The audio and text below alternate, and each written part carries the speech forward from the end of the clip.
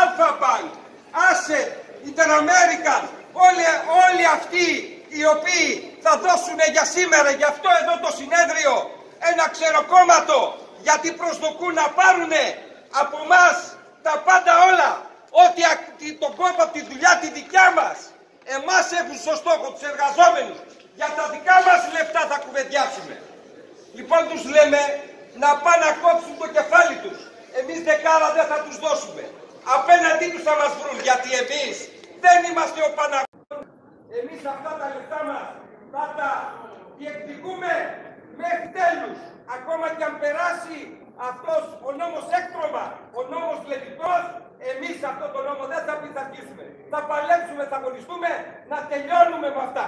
Φτάνει πια. Σας έχει πάρει χαμπάρι και ο κόσμος. Ξέρει πολύ καλά. Θυμάται και την ασπρή πρόνια. Θυμάται τι έγινε και σε άλλες ευρωπαϊκές χώρες και στις Ηνωμένες Πολιτείες. Γι' αυτό θέλετε επαγγελματικά ταμεία τα οποία να λένε πόσα εμείς θα δώσουμε, αλλά να μην λένε πόσα θα πάρουμε.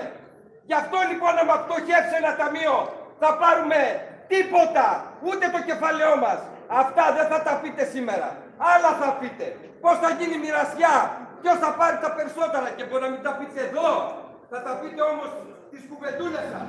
Γι' αυτό φέρνετε εδώ και εκπροσώπους από την Ευρωπαϊκή Ένωση. Γιατί είναι η κοινή η γραμμή σας σε όλα τα κράτη της Ευρωπαϊκής Ένωσης. Η γειτονιά τη γειτονιά του κόσμου να καταλάβει ότι εσείς είστε αυτοί που θέλετε να βάλετε βαθιά το χέρι στη δικιά μας τσέπη, στα δικά μας χρήματα, στη δικιά μας δουλειά. Ε, δεν θα σας το επιτρέψουμε. Ό,τι θέλετε κάντε. Κάντε συνέδρια, κουβεντιάστε, συζητήστε, κάντε όνειρα μεγάλα.